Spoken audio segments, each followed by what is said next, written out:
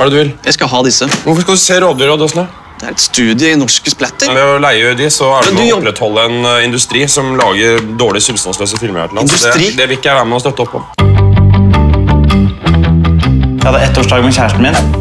Hun var utro samme dagen. Jeg trodde vi hadde lov til å ha det litt gøy. liksom. Jeg flytta henne til Philip og de. Du kan bo på sofaen, det blir kjempefint. De fikk en drittidé.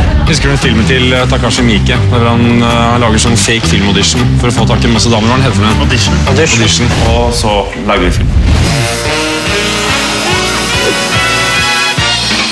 Ok, er vi ferdige nå? Dette er jo veldig dumt. Uh... Du har rollen. Du sa hva for noe? Ja, det bare glapp ut, liksom. Jeg... Glapp ut, da. Gir du meg rollen? Ja. Det er ikke dumt at du liker henne, men det er dumt at, at vi, du sier at vi skal lage film. Du har jo alltid hatt lyst til å lage film. Nå har vi jeg sier bare at nå har vi sjansen til det. Nå har vi en skuespiller. Du regisserer. Herregud, hvor vanskelig er det å regissere? What's up, motherfucker? Hello, is it Peter? Peter Stormer? Depends who's calling, man. Vi holder på å lage en, en uh, rollespillhorror. Ja, du trenger litt stormere Starpower, da? Stormare. Star Power! Hvorfor skal jeg ville investere i denne, denne filmen deres? Det er på en måte litt sånn som Ringenes herre. Og så har vi jo Petter Stormare. Han er med. Han er en liten lekebiske. Er det noen sum du tenker?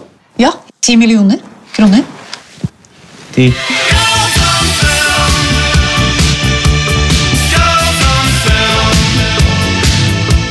Da er det første opptaksdag i morgen, og dere har brukt opp alle pengene. Er du tilbakestående? Er du tilbakestående, Kim?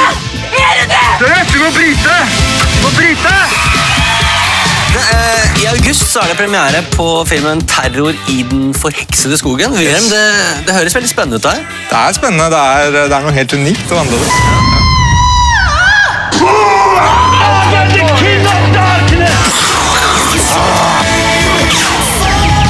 Det har jo gått litt rykter om at det er noe på gang mellom deg og Linda Glenn. Stemmer det, eller? Ingen kommentar.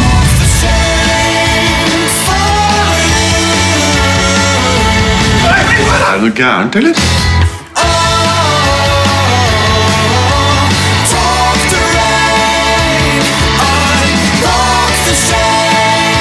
Og denne filmen er dedikeres til alle dere som har blitt pult i ræva av det norske filmfondet. Kryss fingrene. Motherfuckers.